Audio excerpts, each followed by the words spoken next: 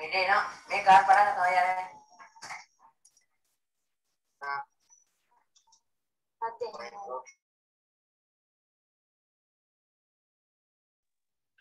හරි.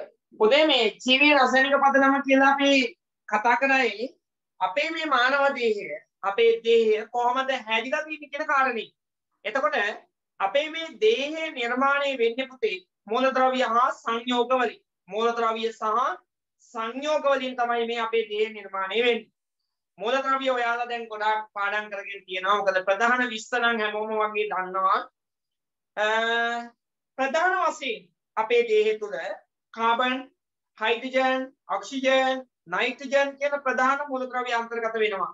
ඊට අමතරව පුතේ ඉතා සුදු ප්‍රමාණය බැගින් පොටෑසියම්, සෝඩියම්, සල්ෆර් ඊළඟට පුතේ ක්ලෝරින් යකඩ වගේ මූලද්‍රව්‍ය අයිති වෙනවා. ඔය ප්‍රධාන මූලද්‍රව්‍ය වල ස්කන්ධ ප්‍රතිශතය අපේ දේහ තුළ කොච්චර ප්‍රමාණ වලින් මේ කියන මූලද්‍රව්‍ය අන්තර්ගතද කියලා අපි පරීක්ෂා කරලා බැලුවොත් වැඩිම ප්‍රතිශතයක් අපේ දේහය තුළ ඉන්නේ ඔක්සිජන්. වැඩිම ප්‍රතිශතයක් පොතේ අන්තර්ගත වෙන්නේ ඔක්සිජන් කියන මූලද්‍රව්‍ය. ඔක්සිජන් ගත්තාම 65 ප්‍රමාණයක් අපි ප්‍රධාන මූලද්‍රව්‍ය CHON ඒ අතර ඔක්සිජන් තමයි වැඩිම ප්‍රමාණයක් කියන්නේ 65ක්.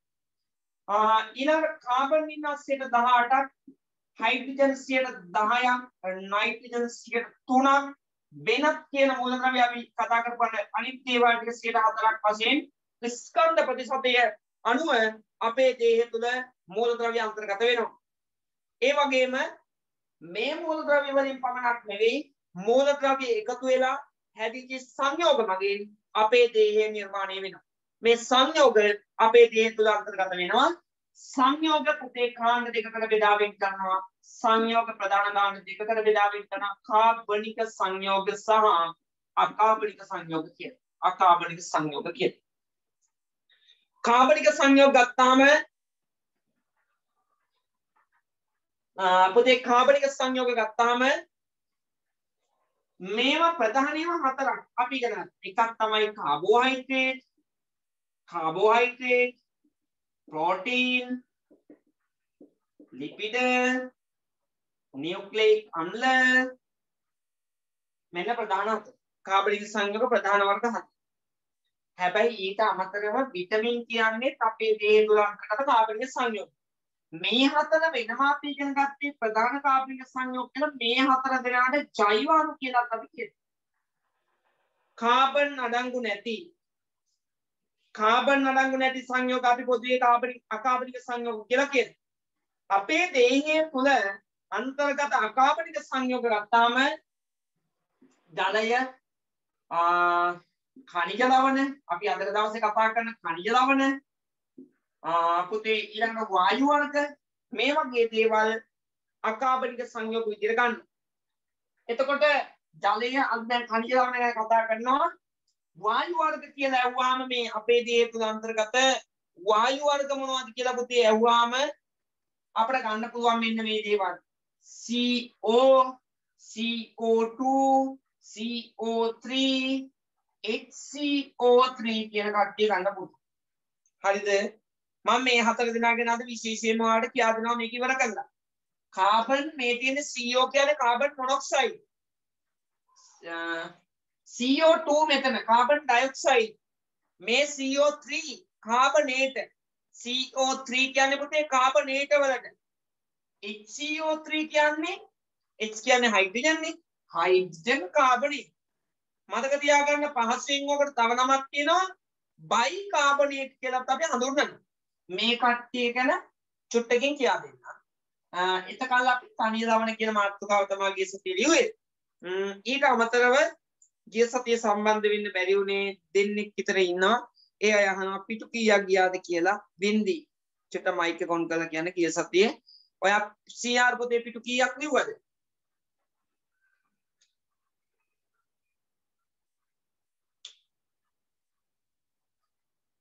පිටු තුනයි භාගයක් විතර පිටු තුනයි භාගයක් විතර ලිව්වලු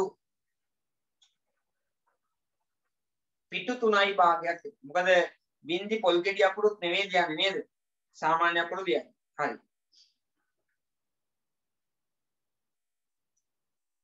අන්න ඉඩ තියෙන අය ඉඩ තියාගන්න.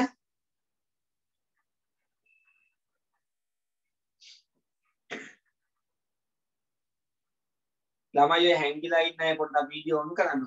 හ්ම්? වැඩ කරනවා පේන්න ඕනේ. මොකද දැන් පන්ති වලට යන කාලයක් එහෙම වුණා නම් මොකද? කළු පාට කවර දාගෙන යන්නේ නැහැ මූණට. සර්ට පේනවට නේද?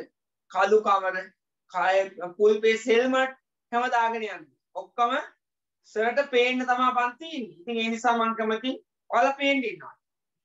හරි?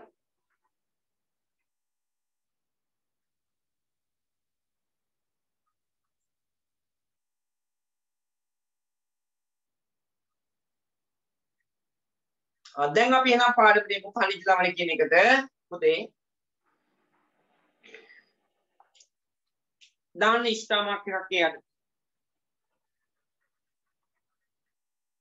ජීවීන්ගේ ජීව කනිජ ලවණයක්දී ජීවීන්ගේ ජීව ක්‍රියා පවත්වා ගැනීම සඳහා ජීවීන්ගේ ජීව ක්‍රියා පවත්වා ගැනීම සඳහා ජීවීන්ගේ ජීව ක්‍රියා පවත්වා ගැනීම සඳහා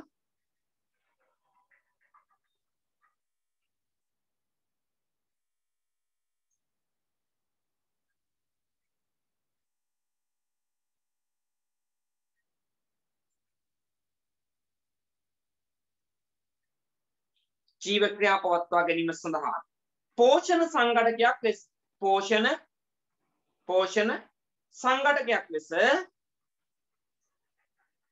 පෝෂණ සංඝටකයක් ලෙස. පෝෂණ සංඝටකයක් ලෙස. පෝෂණ සංඝටකයක් ලෙස.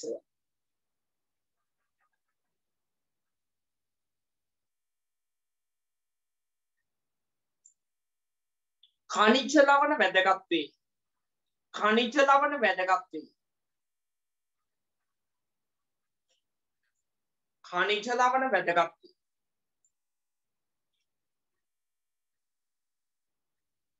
ඊළඟ ඉෂ්ඨාමක් පාට පැනකින් ලියන්න.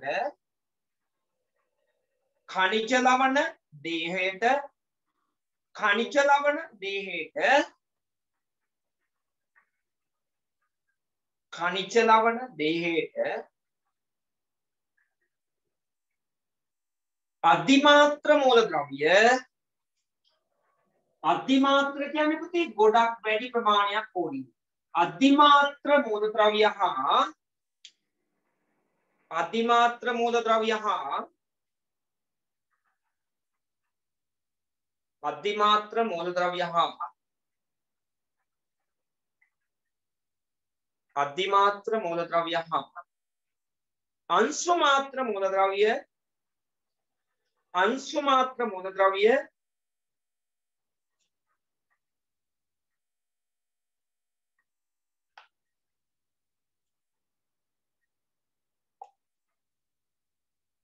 अंशुमात्र मूलद्रव्य।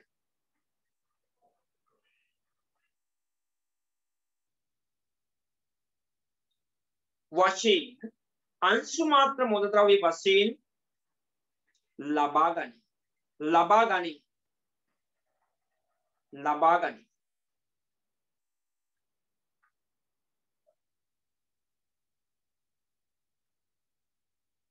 පොතේ චොටි කොටුවක් වගුවක් ගහගන්න එක පැත්තකට දාන්න. එක පැත්තකට දාන්න අධිමාත්‍ර මූලද්‍රව්‍ය අනිත් පැත්තට දාන්න අංශු මාත්‍ර මූල. චුටි වගුවක්. රූල් පහක් විතර වගේ.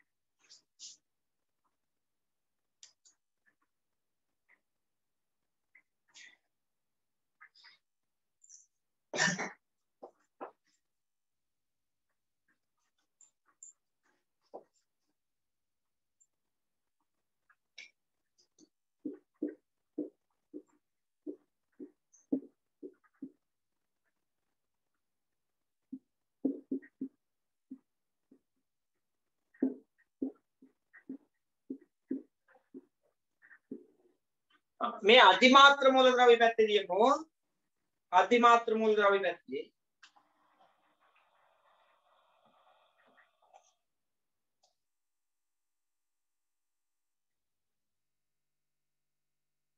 මිනිස් දේහයට වැඩි වශයෙන් අවශ්‍ය වන වැඩි ප්‍රමාණවලින් කියලා දාන පුතේ මිනිස් දේහයට වැඩි ප්‍රමාණවලින් අවශ්‍ය වන වැඩි ප්‍රමාණවලින් අවශ්‍ය වන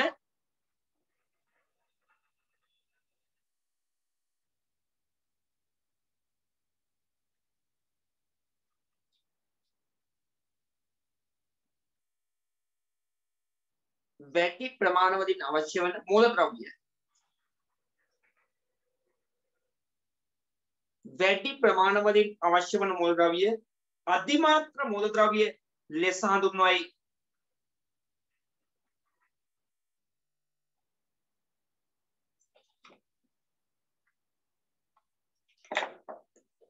අධිමාත්‍ර මූලද්‍රව්‍ය ලෙස හඳුන්වයි.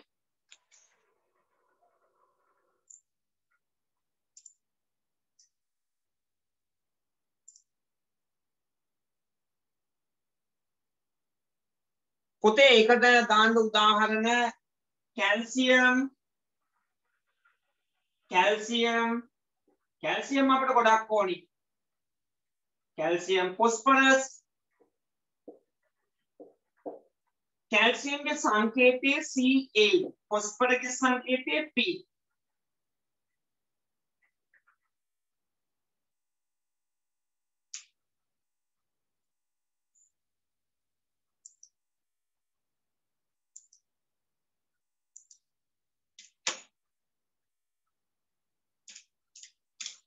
පොතේ මේ දේහයට වැඩි ප්‍රමාණවලින් අවශ්‍ය වන මෝල්ඩාවි තමයි අධිමාත්ත මෝල්ඩවි ලෙස හැඳින්වෙයි. උදාහරණ කැල්සියම් පොස්පරස් කැල්සියම් පොස්පරස් මේ පැත්තට අංශු මාත්‍ර පැත්තට. අංශු මාත්‍ර පැත්තට එන්න දේහයට කුඩා ප්‍රමාණවලින් අවශ්‍ය මූලද්‍රව්‍ය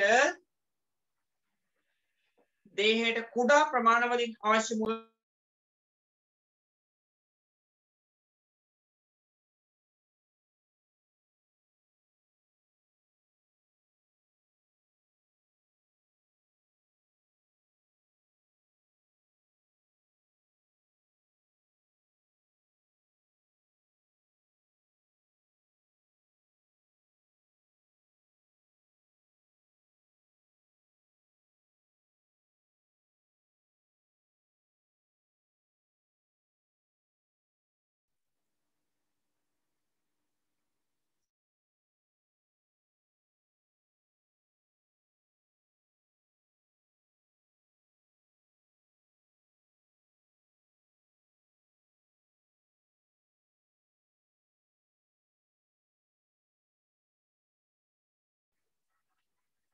කුඩා ප්‍රමාණවලින් දේහයට කුඩා ප්‍රමාණවලින් දේහයට කුඩා ප්‍රමාණවලින් අවශ්‍ය මූලද්‍රව්‍ය අංශු මාත්‍ර මූලද්‍රව්‍ය ලෙස හඳුන්වයි. අංශු මාත්‍ර මූලද්‍රව්‍ය ලෙස හඳුන්වයි.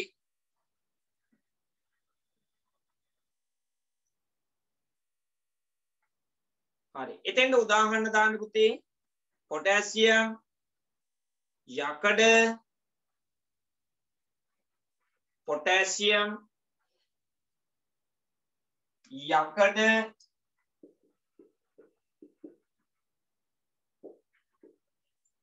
තඹ අයඩීන් වගේ වකුටේ ඉතා කුඩා ප්‍රමාණවලින් අපේ දේහයට ඕනි වෙනවා. මේ පොටෑසියම්ගේ සංකේතය K අකුර. යකඩ කියන්නේ F අකුරයි E අකුරයි. තඹ Cu අයඩීන් කියන්නේ I. ඔන්න මූලද්‍රව්‍ය අපේ දේහයට කුඩා ප්‍රමාණවලින් අවශ්‍ය වෙනවා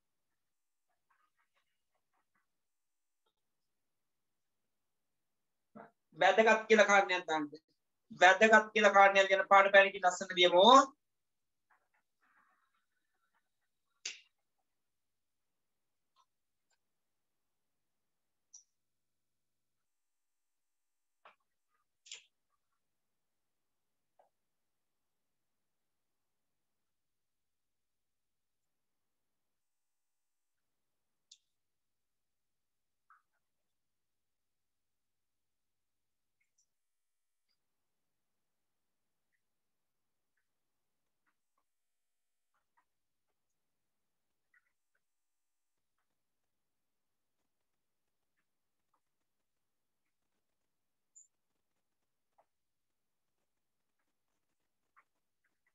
හරි වගෝ ඉවරයි පුතේ. දාන්න වැදගත් කියලා කාරණයක්. ඒ අර්ථ පාඩ පැනකින් ලියමු. මෙම මූලද්‍රව්‍ය මෙම මූලද්‍රව්‍ය අවශ්‍ය ප්‍රමාණවලින් නොලැබුණු විට මෙම මූලද්‍රව්‍ය අවශ්‍ය ප්‍රමාණවලින් නොලැබුණු විට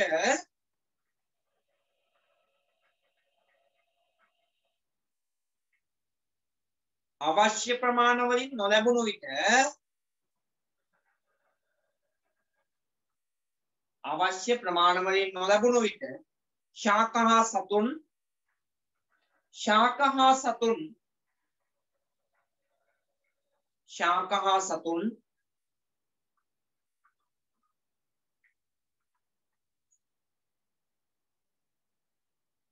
විවිධ ඌනතා ලක්ෂණ පෙන්වයි විවිධ ඌනතා ලක්ෂණ පෙන්වයි.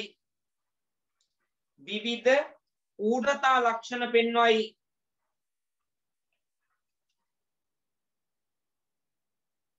විවිධ ඌනතා ලක්ෂණ පෙන්වයි.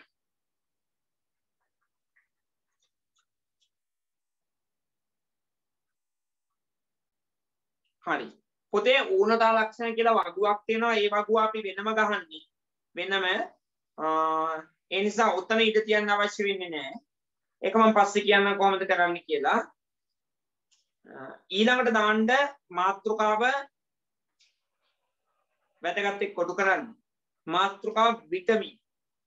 විටමින්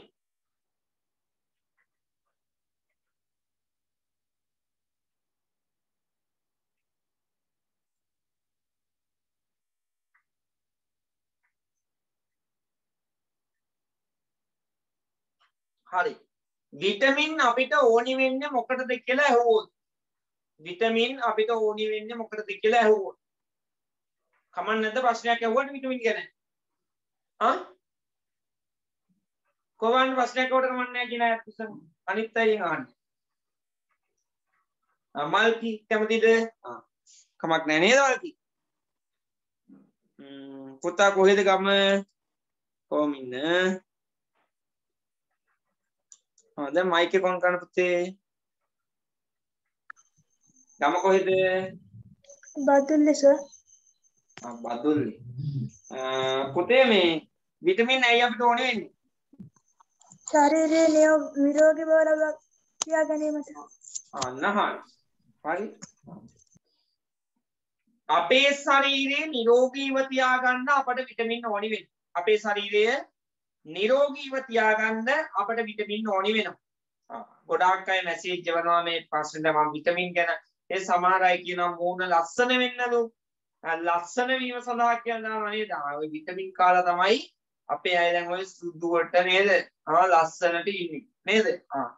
එතකොට පුතේ අපි සාමාන්‍යයෙන් ඇත්තටම මේ ලස්සන කියලා කියන්නේ ඇත්තටම නිරෝගීව ඉන්නවා නම් ගොඩක් ලස්සනයි නේද?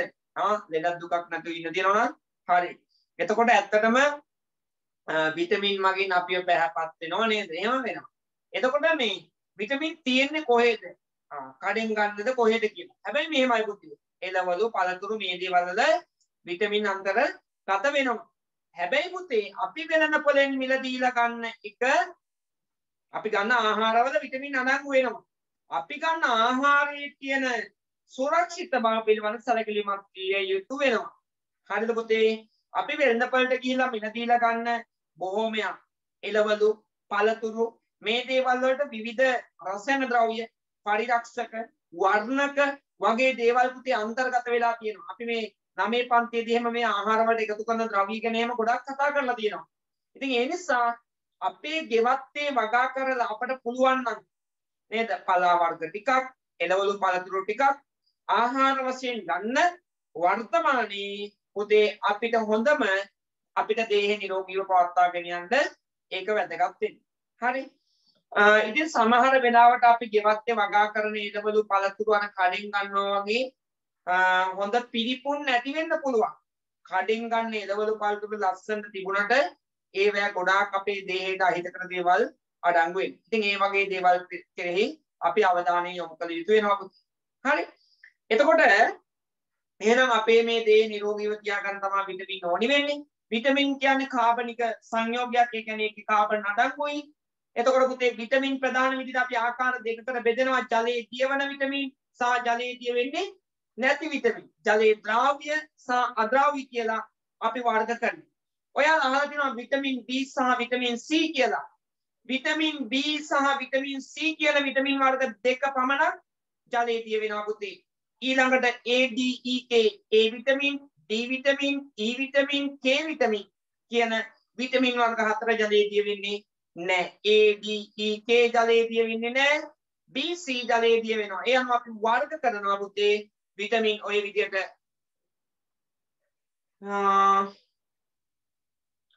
ඊළඟට පුතේ අපිට විටමින් අපේ දේහයට අවශ්‍ය ප්‍රමාණය නොලැබුණු විටමින් A විටමින් D වගේ අවශ්‍ය ප්‍රමාණය නොලැබුණොත් අපේ දේහේ ඌනතා ලක්ෂණ මතුවෙනවා.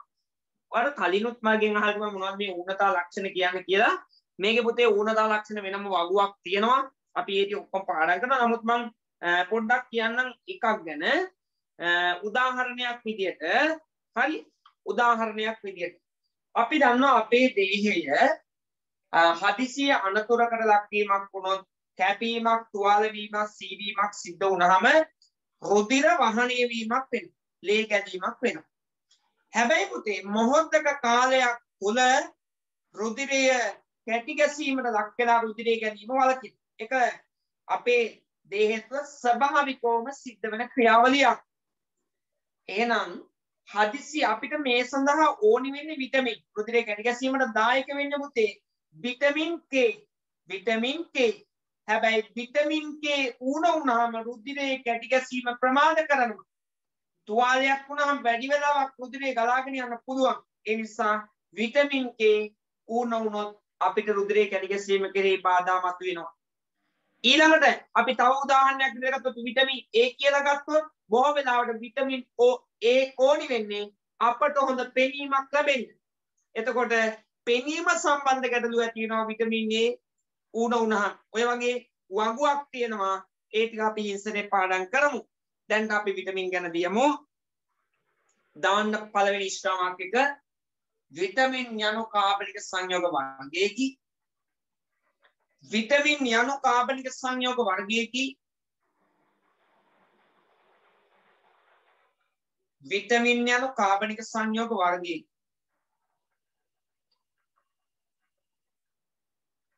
කාබනික සංයෝග වර්ග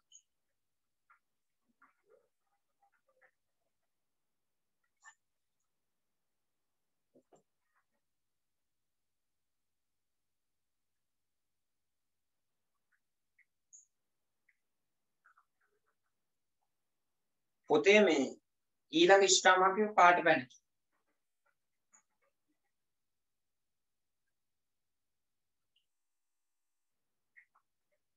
විටමින් ශරීරය තුළ සිදුවන විටමින් ශරීරය තුළ සිදුවන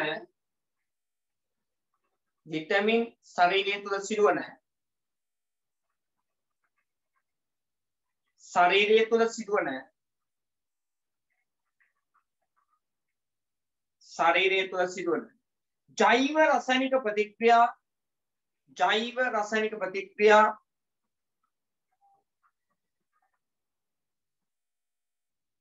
ජෛව රසායනික ප්‍රතික්‍රියා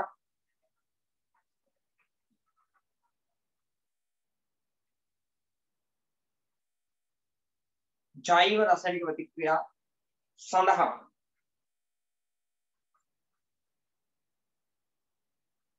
ජෛව රසායනික ප්‍රතික්‍රියා සඳහා බලන්න ආයේ මුලින් ඉඳන් විටමින් ශරීරය තුළ සිදුවන ජෛව රසායනික ප්‍රතික්‍රියා සඳහා සහභාගී වන අතර සහභාගී වන අතර සහභාගී වන අතර ශරීරයේ නිරෝගීව පවත්වා ගැනීමට ශරීරයේ නිරෝගීව පවත්වා ගැනීමට ශරීරය නිරෝගීව පවත්වා ගැනීමට ශරීරයේ නිරෝගීව පවත්වා ගැනීමට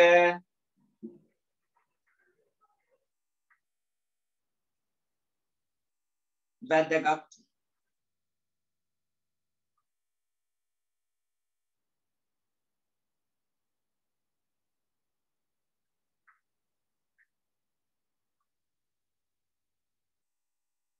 පොතේ ඊළඟ ස්ටාමාක් එක සාමාන්‍ය පෑනෙන් ඊළඟ ස්ටාමාක් එක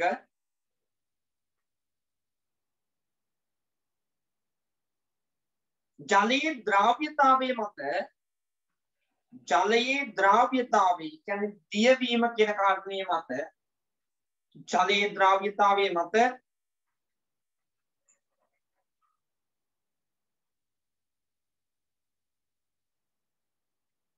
ජලයේ ද්‍රාව්‍යතාවය මත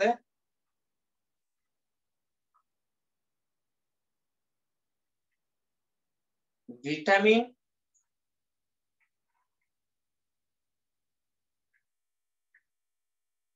කාණ්ඩ දෙකකට බෙදාවෙන් කළ හැකිය? කාණ්ඩ දෙකකට බෙදාවෙන් කළ හැකිය?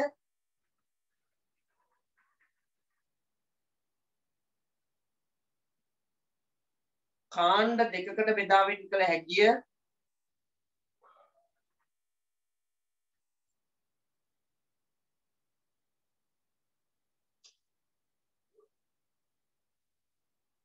කාණ්ඩ දෙකකට බෙදාවෙන් කළ හැකිය.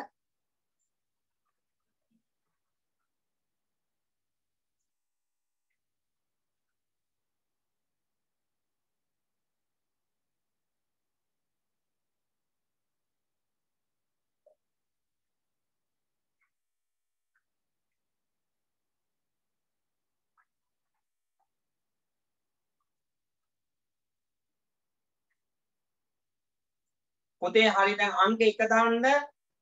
ජලයේ ද්‍රාව්‍ය ජලයේ ද්‍රාව්‍ය ජලයේ ද්‍රාව්‍ය විටමින් ජලයේ ද්‍රාව්‍ය විටමින් ජලයේ ද්‍රාව්‍ය විටමින්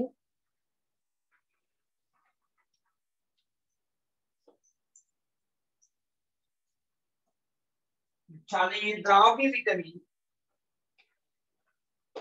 පොතේ ජලයේ ද්‍රාව්‍ය විටමින් උදා කියලා දාලා vitamin B vitamin P vitamin C.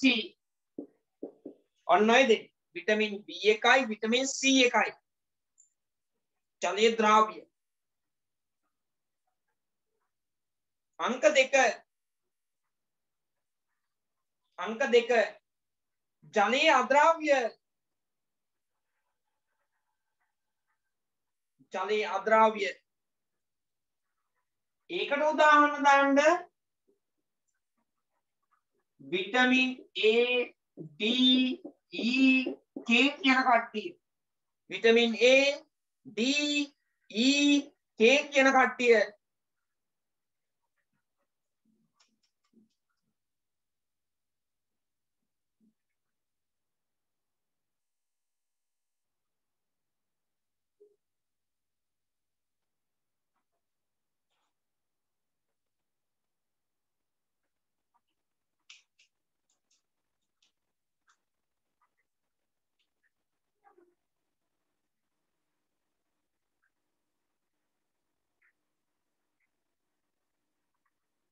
පොතේ ජලයේ මේවා අද්‍රාව්‍ය වුණාට ජලයේ දිය වුණේ නැති වුණාට මේවා මේදේ දිය වෙනවා වරහන් අස්සේ දාන්න මේදේ දිය වේ කියලා. මේදේ දිය වේ මේදේ දිය වේ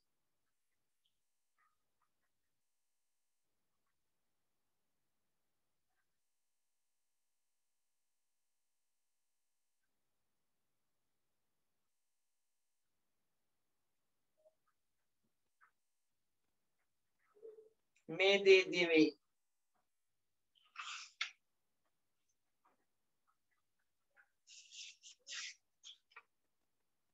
හරි. ඔන්න ඔතනින් සම්පූර්ණයෙන් කොටස් ටික ඉවරයි. ඊට පස්සේ මේ වගු ටික තියෙනවානේ. පුතාලට මම වගු ටික කියන්නම්. දැන් ගොඩක් දෙනාට අච්චු පොත් නම් හොයාගෙන තියෙනවා. අච්චු පොත් නැති අයට අපිට පුළුවන් වගු ටික ගෲප් එකකට දෙන්න. ගෲප් එකට දෙන්න පුළුවන්. මෙහෙමයි කරන්නේ. ඔයාලා මේ වගු ටික පුතේ අපට සාමාන්‍ය පෙළ විභාගෙ දක්වාම මේ ඌනතා ලක්ෂණ දැන් හිතන්නකෝ මේකේ තියෙනවා ප්‍රධාන විදියට khනිජ ලවණවල කාර්යභාරය කියලා එකක් khනිජ ලවණවල කාර්යභාරය තියෙනවා ශාක දේහය තුළ khනිජ ලවණවල කාර්යභාරය නැත්නම් ශාක දේහ වලට khනිජ ලවණ ඌන වුණහම ඇතිවෙන මොන වගේ රෝගී ලක්ෂණද කියලා. ඒක එතන වගු දෙකක් තියෙනවා මානව දේහය සහ ශාක දේහය කියන එකක්. Khනිජ ලවණ පැත්තේ. ඊළඟ විටමින් ඌන වුණහම මානව දේහය තුළ ඇතිවන ඌනතා ලක්ෂණ කියලා වගුවක් තියෙනවා. ඒකට වගු තුනයි. තව එකක් තියෙනවා ජලයේ තියෙන සුවිශේෂී ගුණ කියන වගු හතරක්. ඔය වගු හතර මම ඔයාලට ගෲප් එකට දාන්නම් නැත්නම් අච්චුපතේ මම තියෙන පිටු අංකෙත් එක්ක කියන්නම් ඒ ටික වෙනම A4 කොලයක මෙහෙම ලස්සනට හිතන්නකෝ A4 කොලේ තියෙනවා මාතෘකාව කියනවා khනිජ ලවණවල ඒක උඩින් තියෙන මාතෘකාව දැන් ලියන්න අවශ්‍ය වෙන්නේ නැහැ khනිජ අපි තමු විටමින් කියලා විටමින් මානව දේහයට අවශ්‍ය විටමින් ඌනතා ලක්ෂණ කියලා වගුවක් තියෙනවා. ඒතකොට ඒක මාතෘකාව ලිව්වා එහෙම ලිව්වා. ඊළඟට khනිජ ලවණ වල කාර්යභාරය හා ඒවා ඌන වුණාම ඇතිවන ලක්ෂණ. හරි. චුට්ටක් ඉන්නකො මම ඔයාලට PDF එක එවන්නම්. පොඩයි ඉන්න පුතේ.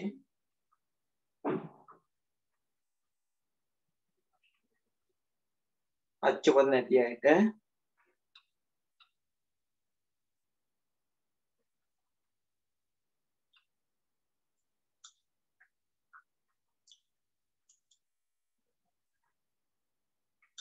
මං ඔයාලට දැන් මේ ලිංක් එකක් එවන්නම් ඒකෙන් අච්චුපත ගන්න පුළුවන්.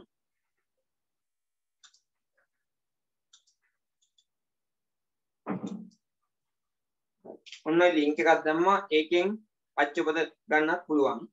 හරි? එතකොට ඒකේ අච්චුපතේ බලන්න පිටු අංක ටික ලියා ගන්න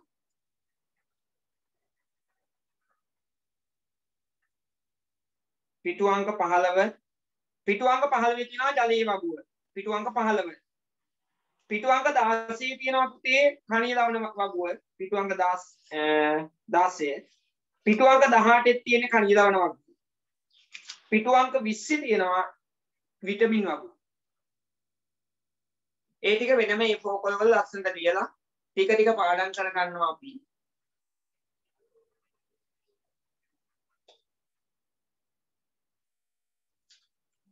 ඔන්න දැන් සම්පූර්ණයෙන් ඒ පාඩම ඉවරයි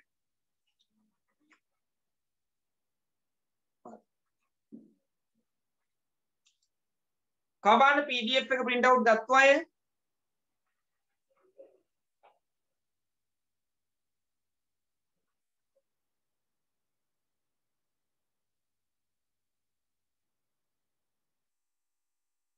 ළමයි පොඩ්ඩක් PDF එක print out ගත්ත අය චුට්ටක් පෙන්නන්න.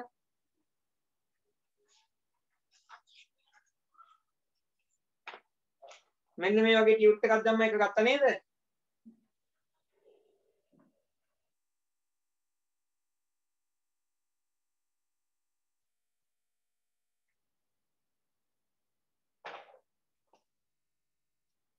හරි නෙත්මි අරන් තියෙනවා. කෝ ඉතින් ගත්තා තව උවින්දු අරන් තියෙනවා. වින්දි අරගෙන තියෙනවා. ඉමේෂ අරගෙන තියෙනවා. රේණුක සයුරි පසින්දු හරි ගොඩක් අය පීඩ හරි ගොඩක් අය පීඩියප් එක අරන් තියෙනවා එතකොට පුතේ අපි මේ දැන් 10 වසරේ විද්‍යාව කියලා කියන්නේ අපිට දැන් ඇත්තටම මේ පළවෙනි පාඩම ජීව විද්‍යාව පාඩමක් ලේසි අපි නෝට් එක ලියලා කරේ. ඉතින් මේ අපිට නෝට් එක ලියලා කරන්න බෑ හැම පාඩමක්ම මම මේක සති 3කට කලින් තමයි PDF ගෲප් එකට දැම්මේ. සති 3කට කලින්. Ehm, ඉතින් ඒ නිසා දැන් අද නැති අය අද පාඩම අහගෙන ඉන්න ඕනි. අනිවාර්යෙන්ම ඊළඟ දවසේ වෙනකොට PDF එක ගන්න මොකද මේක මං හිතන්නේ දවස් 4ක් විතර කරන් තියෙන පාඩමක් පිටු ටිකකුත් වැඩි සමුරේගේ චරිතයේ පිටු 24ක් තියෙන ටියුට් එකක්. ඒ නිසා පිටු 24ක් තිබුණාට ලොකු දේවල් නැහැ. නමුත් මේ පාඩමෙන් විභාගයේ සඳහා ඉලක්කගත ප්‍රශ්නයක් අපට එනවා. විභාගයේ සඳහා ඉලක්කගත ප්‍රශ්නයක් එනවා පුතේ. සරල රේඛීය චලිතය කියන පාඩම දෙවෙනි පාඩමට දාලා PDF එක තමයි දැම්මේ. ඒ නිසා අද ටියුට් එක ගත්තු නැති අය ඊළඟ දවසේ print out එක අනිවාර්යෙන් ගන්න ඕනේ. එතකොට මේ පාඩම ඉවර වෙනකොට ඊළඟ පාඩම වශයෙන් මම PDF ටික ඔයාලට දෙනවා. PDF ටික නැතුව 10 වසරේ විද්‍යාව කරන්න බෑ පුතේ. හොඳයි ඔයාලටත් වටිනවා. මේක අරගෙන මේක එකතු කරගන්න. ඒ වගේම මේකේ තියෙන වැඩ ටික තියෙනවා. මේක හදන්න ගණන් තියෙනවා. ඒ දේවල් ඔක්කොම දාලා තියෙන්නේ 9 වගේ නෙමෙයි 9ට වඩා 10 ටිකක් ඔයාලත් ටිකක් වගකීමෙන් හිතන්න ඕනි. මේ විෂය සම්බන්ධයෙන්. හරි. අද මේ තියෙන ටියුට් එකේ පිට ඔක්කොම කතා කරන්නේ නැහැ. මූලික කාරණා ටික දවසේ කතා කරමු. හරි. ටියුට් එක නැති අය මොනවාරි අත්‍යවශ්‍ය කාරණයක් තිබුණොත් කොලේට හරි සටහනක් දාගන්න.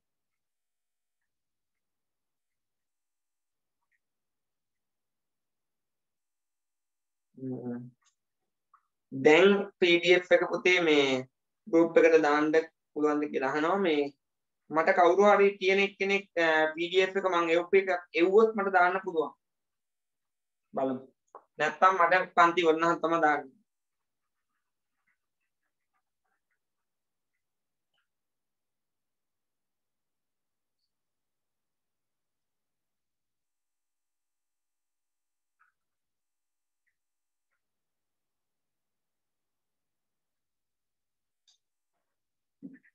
හරි. මෙහෙම කරමු. මම ක්ලාස් එකේ වෙච්ච ගමන් PDF එක අදාළ ගෲප් එකට දාන්න. බලමු පුතේ. මේ පාඩම අපි කතා කරද්දී සරලේඛ චරිතය පළමුවෙන්ම පාඩම ප්‍රවිෂ්ඨ වීම සඳහා පුතේ අපට පළමුවෙන්ම මේකේ සංකල්ප කීපයක් තියෙනවා. මොකද PDF එක මම දැන් ඔයාලට ස්ක්‍රීන් එකට ෂෙයා කරන්න පුළුවන්. මොකද පුතේ ස්ක්‍රීන් එකට ෂෙයා කළාම පොඩ්ඩක් අර ලෝඩ් වෙනකොට මීටින් එක පොඩ්ඩක් ඔයාලට සමහර අය නෙට්වර්ක් පහසුකම් අඩු අයට ඇහෙන්නේ නැතුව එහෙම යනවා. ඒ ඒ නිසා තමයි සති 3කට කලින් PDF එක group එකට දාලා තියෙන හැමෝම print out එක ගත්තා මොකද පාඩම කරද්දී අනිවාර්යෙන් ස්ක්‍රීන් එක දිහා බලාගෙන ඉන්නවට වඩා Tamanටම කියලා ටියුට් එකක් තියෙන්න ඕනි පුතේ. නේද? ඒ නිසා ඒක වගකීමෙන් අනිත් දවසේ කටයුතු කරන්න ඔයාලට අමතක වෙනවා නම් අම්මලාට කියලා තියන්න මේ විද්‍යාව පන්තියේ PDF එක ඒ කියන්නේ මාස් එකට අනිවාර්යෙන් ටියුට් එකක් හෝ දෙකක් එනවනේ.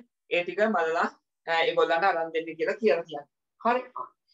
පුතේ සරල රේඛීය චලිතය කියන අවස්ථාව ගත්තාම අපි ඉස්සෙල්ලා බලමු මේ චලිතය කියන්නේ මොකක්ද කියලා. චලිතය. අද පොඩ්ඩක් පාඩම මොකක්ද කියලා හඳුනා ගැනීම තමයි මේ කතා කරන්නේ.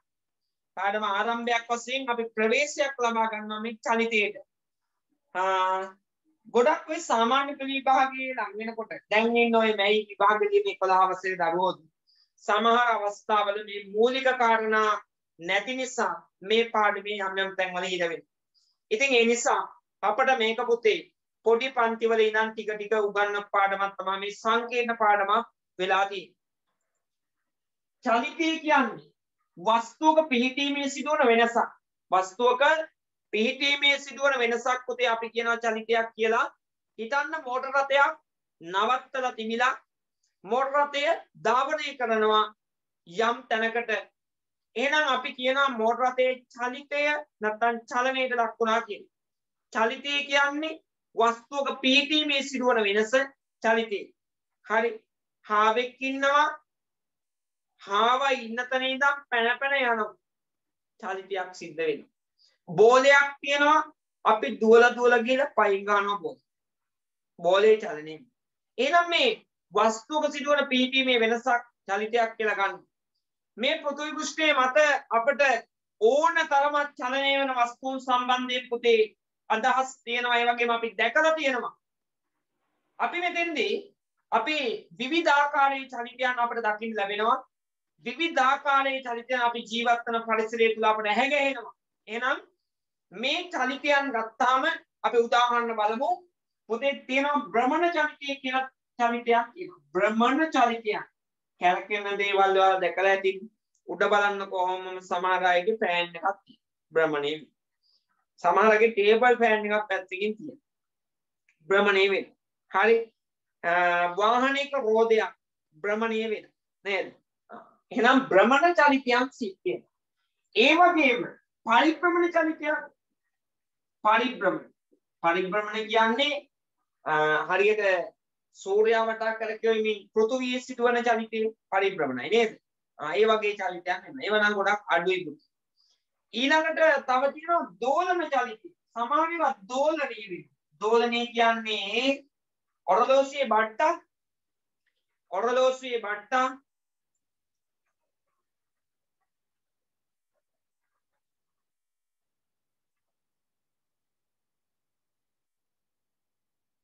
තත්පරයක් දෙන්න.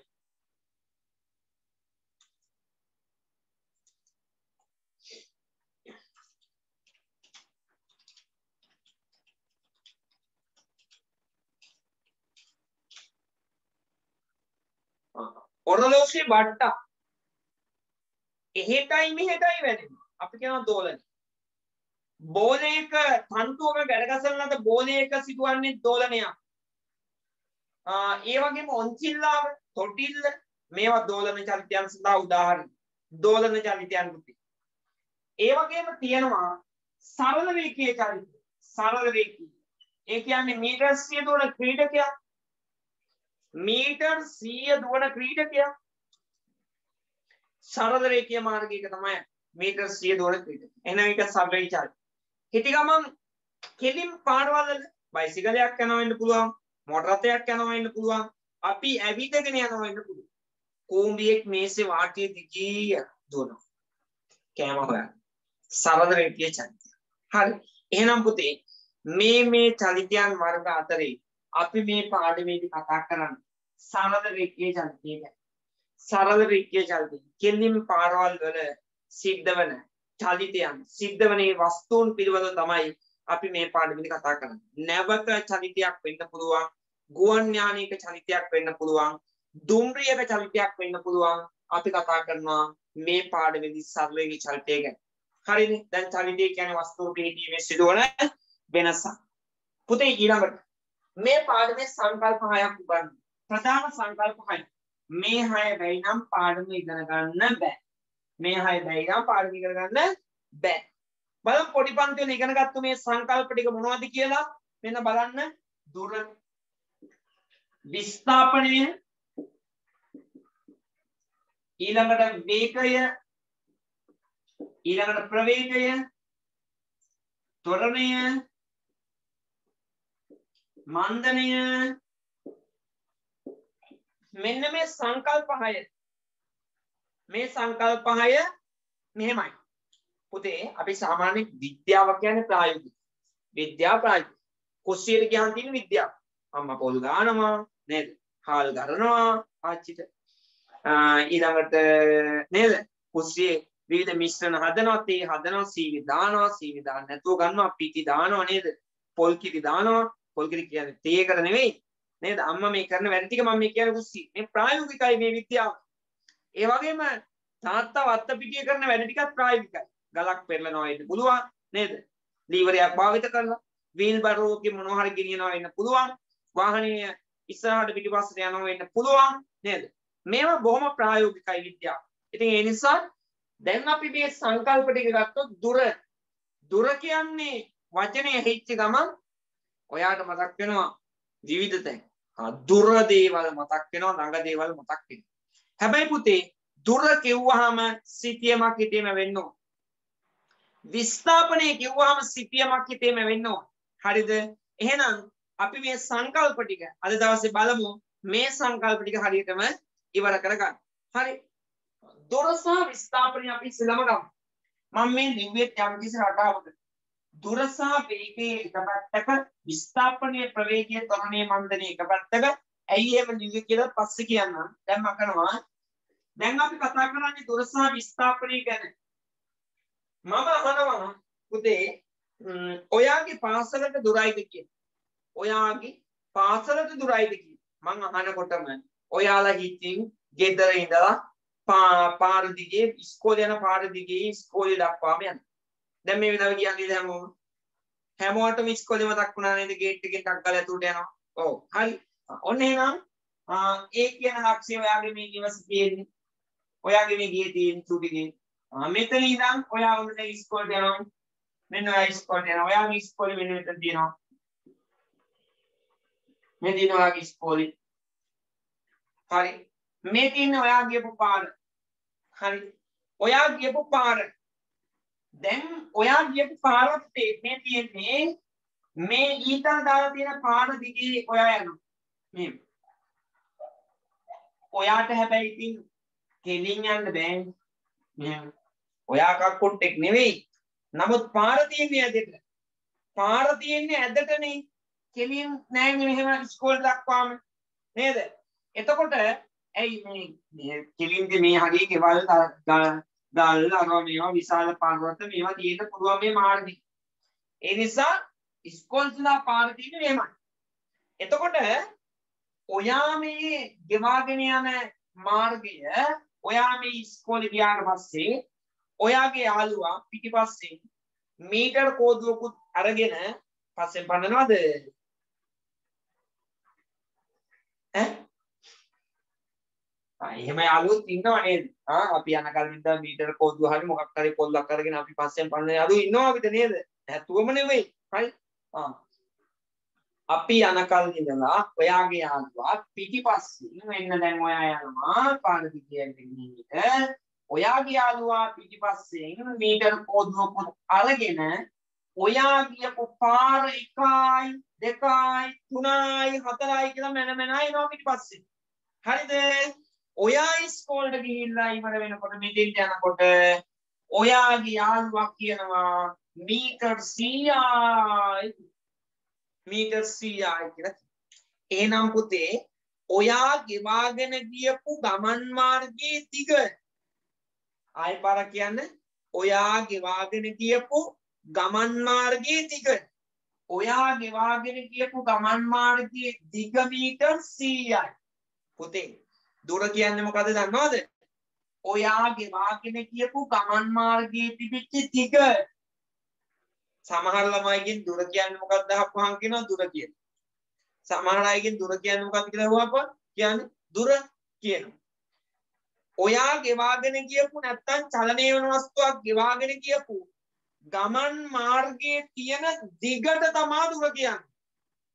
හරි? හැමෝම එක්ක කියන්න. හැමෝම කටවල් අරින්න ඕනි. චලනය වෙන වස්තුවක් මං කිව්වහම කියන්න අර හාමුදුරුවෝ බණ කිව්වහම අර කියන්නේ. නේද ඒ වගේ? චලනය වෙන වස්තුවක් කෝ ළමයි මයික් ඔන් කරන්න ඕනේ මට ඇහෙනවා ඔයාලා කියන ඒවා.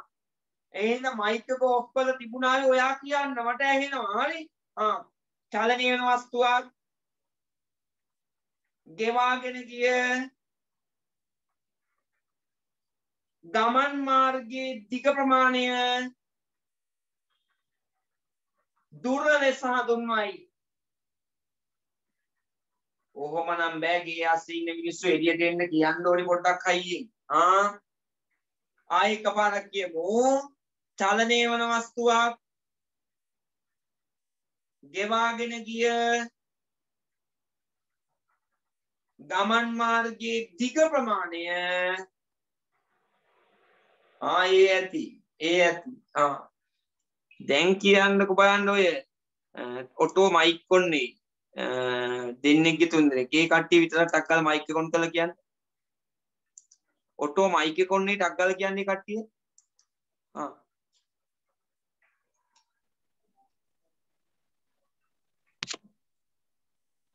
කියන්නේ කියන්නේ.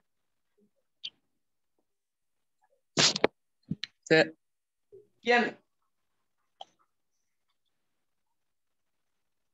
චලනය වන වස්තුවක් ගෙවා ගිය ගෙවා ගිය දුර ලෙස හඳුන්වයි.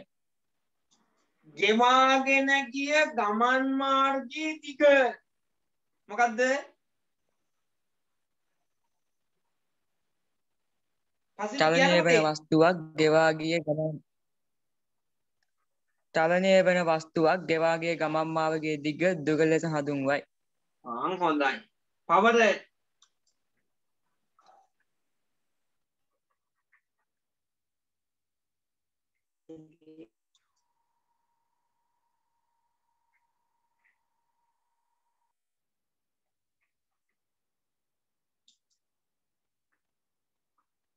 කවිස්ක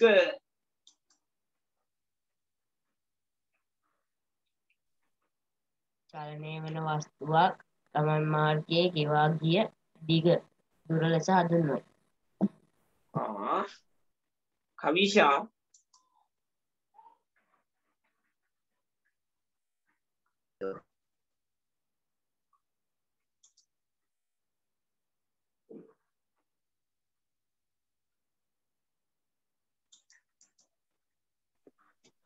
චලනය වන වස්තුවක් ගෙවාගෙන ගිය ගමන් මාර්ගයේ දිග ප්‍රමාණය දුර ලෙස හඳුන්වයි.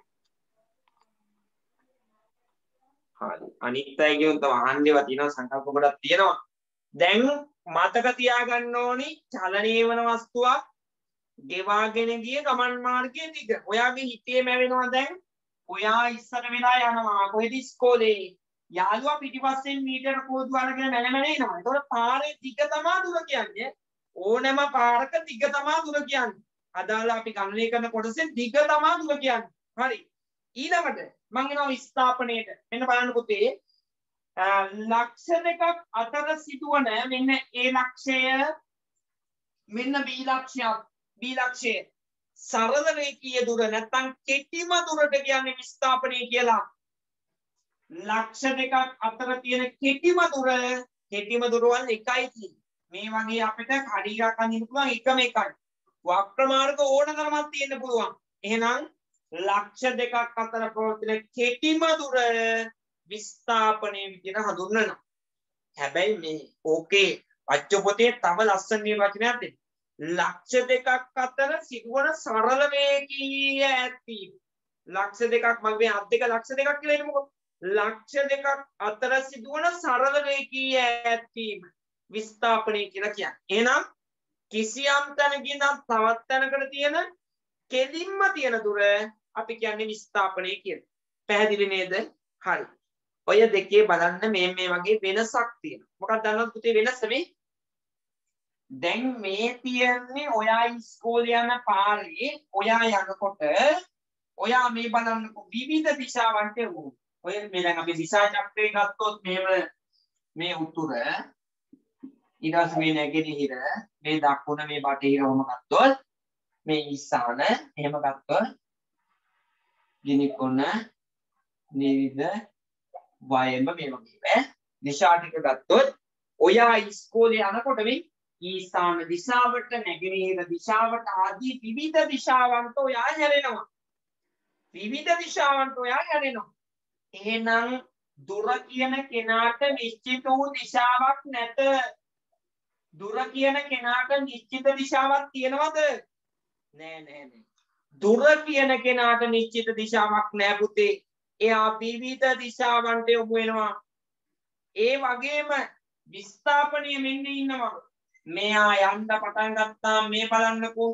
එකම දිශාවට ආයේ කොහෙවත් හරි බලන්නේ විස්ථාපනයේ නිශ්චිත දිශාවක් තියෙනවා.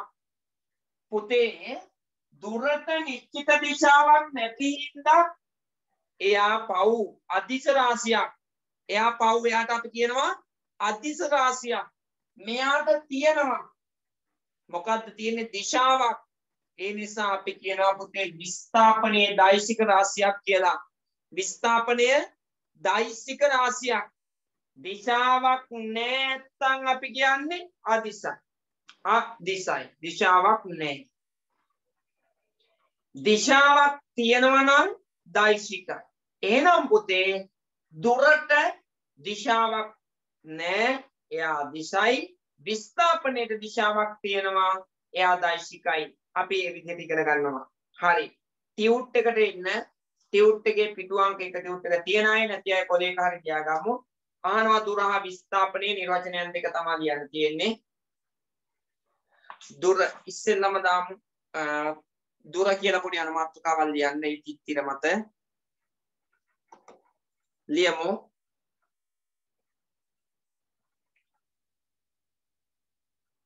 චලනය වන වස්තුවක්. චලනය වන වස්තුවක්.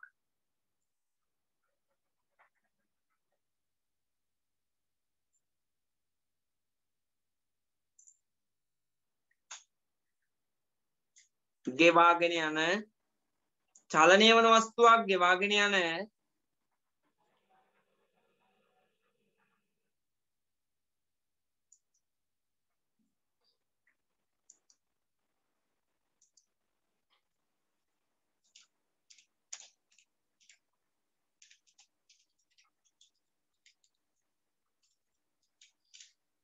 චලනය වන වස්තුවක් ගෙවාගෙන යන ගමන් මාර්ගයේ දිග ප්‍රමාණය. ගමන් මාර්ගයේ දිග ප්‍රමාණය.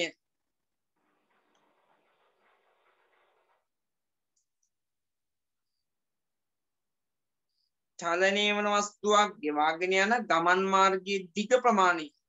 දුර ලෙස හඳුන්වයි. දුර ලෙස හඳුන්වයි.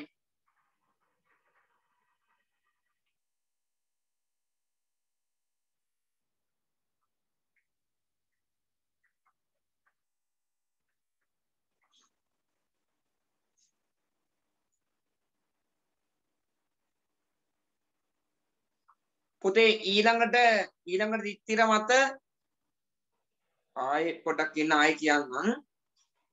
නිර්වචනය. නෙත්මි කියවම නිර්වචනය ලියපු එක. සර්. ආ කියන්න පුතේ.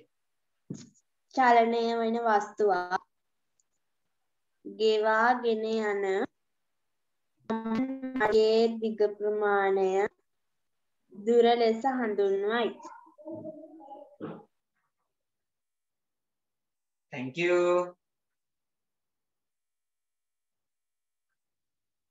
හරි. පොතේ දාන්න ඊළඟ තිරමත් පොඩි අනුමාත්‍රකාවකදී විස්ථාපනය. විස්ථාපනය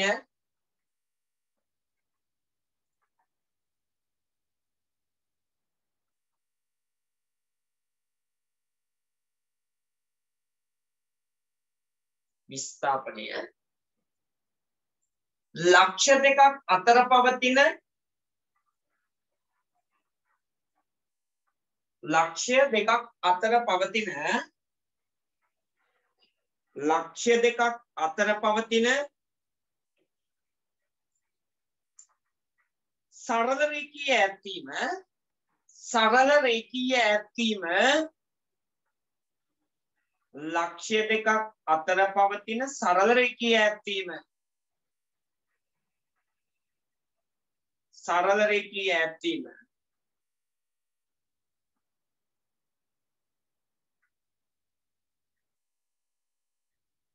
සරල රේඛීය ඈත්වීම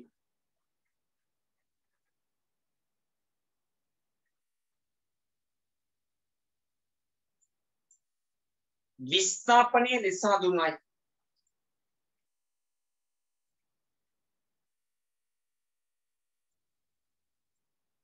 විස්ථාපනය ලෙස හඳුන්වයි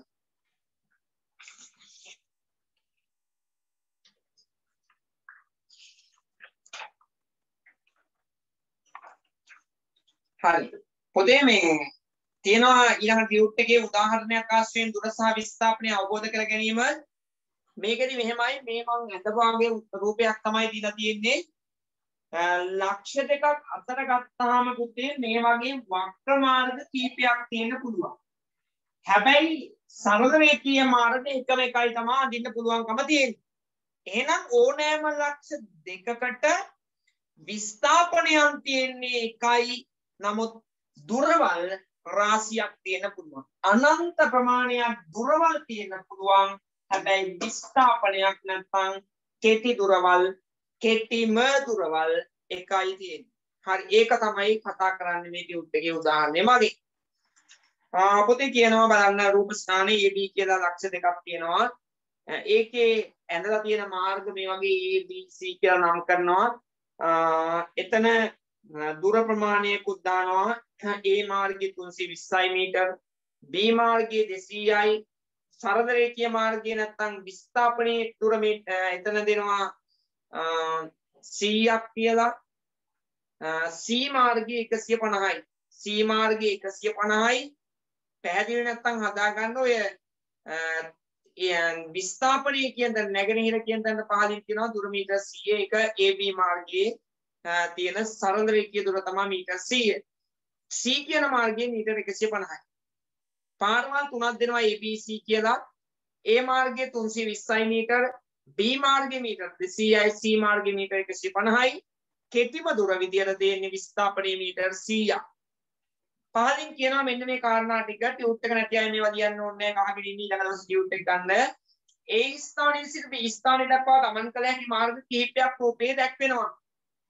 එමෙන්ම A B C වශයෙන් පවතින මාර්ගවල ආරම්භක ස්ථානයේ සිට අවසාන ස්ථානයේ දක්වා ගමන් කිරීමේදී දුරෙහි විශාලත්වයන්ද වෙනස් වෙනවා. එම පුද්ගලයා ABC කවර හෝ මාර්ගයෙන් ගමන් කිරීමේදී එකම දිශාවකට නොව විවිධ දිශාවන්ට යොමු වෙනවා. ඒක මම ඔයාලට පෙන්නුවා. නමුත් A සිට B දක්වා පවතින සරලකීය මාර්ගයේ ගමන් කළොත් නිශ්චිත දිශාවක් නැගෙනහිරට කියලා වරහන් අස්සේ දෙනවා. ඔස්සේ ගමන් කරනු ලබයි. ඔස්සේ ගමන් කරනු ලබයි.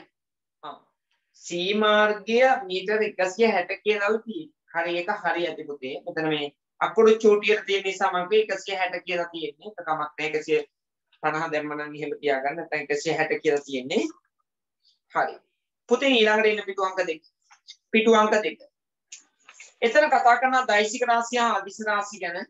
දැන් ඔයාලා දන්නවා පුතේ අදිශ කිව්වහම දිශාවක් නැහැ. හරි. චුට්ට බලමු. මම මේක කරනවා.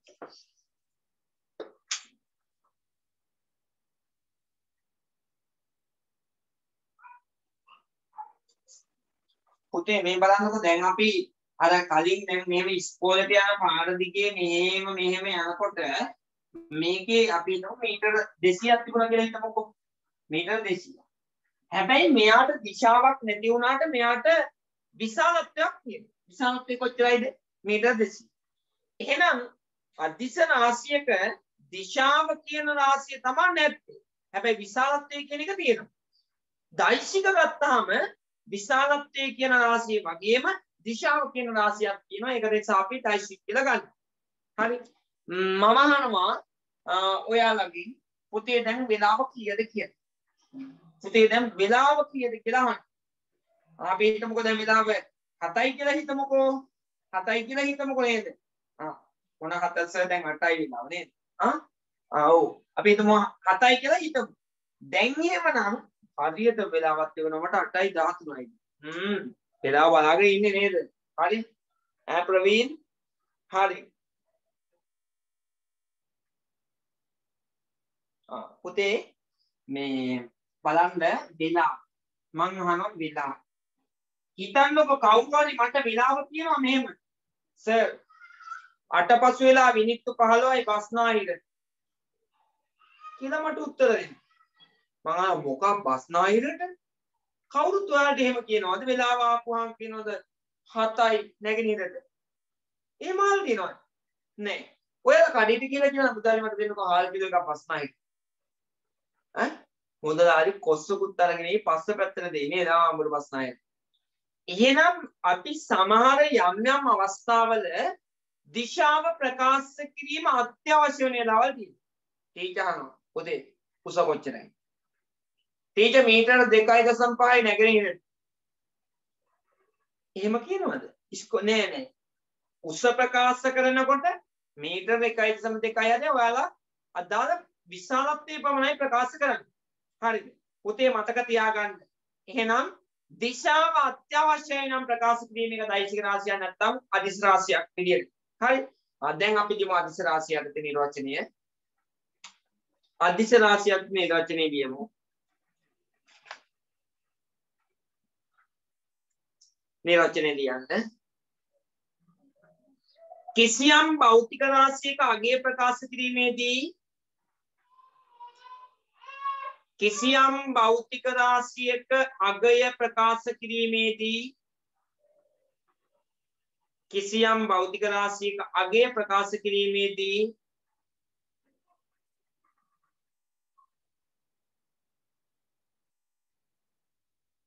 කිසියම් භෞතික රාශියක අගය ප්‍රකාශ කිරීමේදී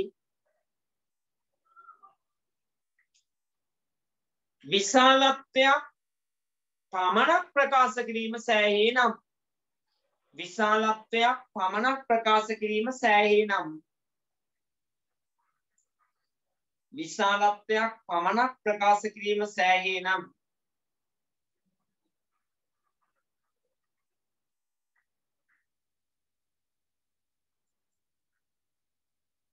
බලන්දායමදී නම් කිසියම් භෞතික රාශියක අගේ ප්‍රකාශ කිරීමේදී විශාලත්වයක් පමණක් ප්‍රකාශ කිරීම සෑහේ නම් විශාලත්වයක් පමණක් ප්‍රකාශ කිරීම සෑහේ නම් එය අතිශ රාශියක් ලෙස හඳුන්වනවා.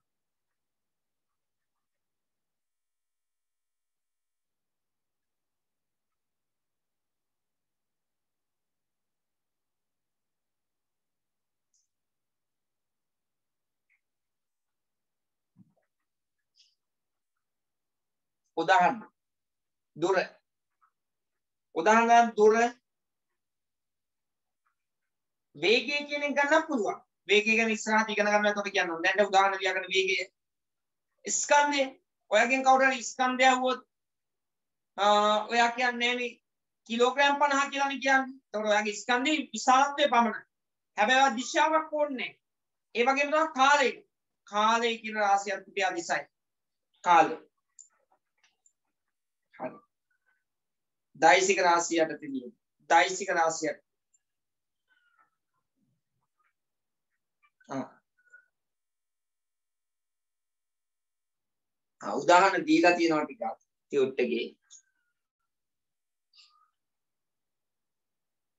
අදෛසික රාශියක් කියන්නේ කිසියම් භෞතික රාශියක අගේ ප්‍රකාශ කිරීමේදී කිසියම් භෞතික රාශියක අගේ ප්‍රකාශ කිරීමේදී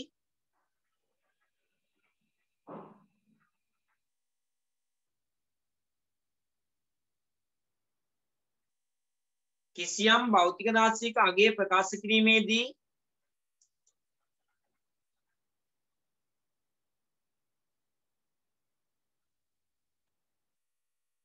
කිසියම් භෞතික රාශියක අගය ප්‍රකාශ කිරීමේදී විශාලත්වයට අමතරව විශාලත්වයට අමතරව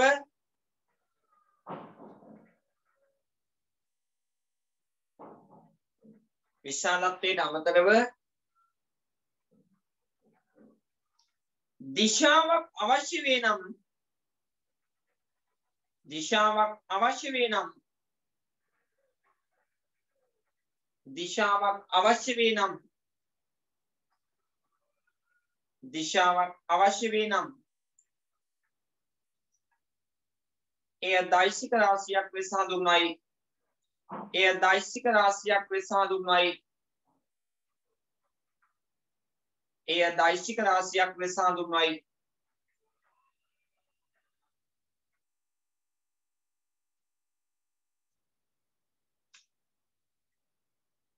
හරි. ඒකට උදාහරණ දැන් විස්ථාපනීය දෛශිකයි කියලා දන්නවා උදාහරණ දීලා තියෙනවා විස්ථාපනය ප්‍රවේගය සහ ත්වරණයත් උදාහරණ දෙනවා. ඒ දෙක ඉස්සරහදී කතා කරනවා.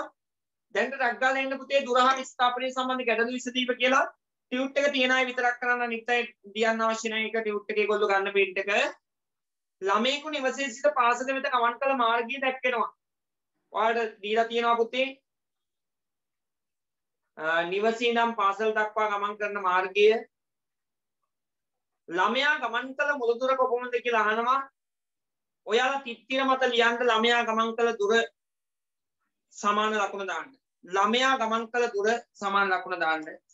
ළමයා ගමන් කළ දුර සමාන ලකුණ දාලා ඒක තියෙනවා A ඉඳන් B ට යනවා B ඉඳන් C ට යනවා C ඉඳන් D ට යනවා.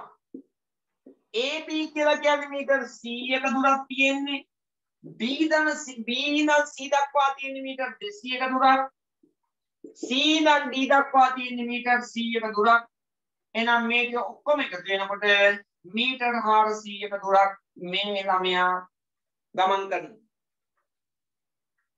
ලේසි ගන්න. ඉක්මනට ගන්න හදන්න.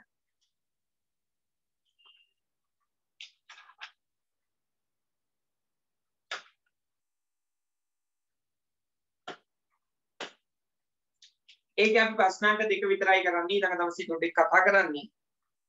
අ, ළමයාගේ විස්ථාපනය කුමක්ද කියලා අහනවා. හරි. මේක වැලිදු. හරි. චුට්ටක් හදාගන්න ඉක්මනට.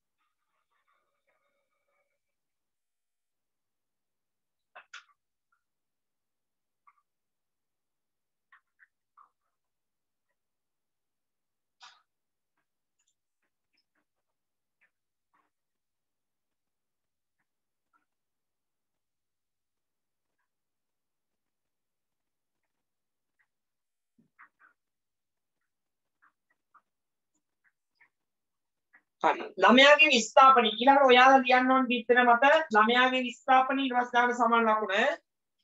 ළමයාගේ විස්ථාපනය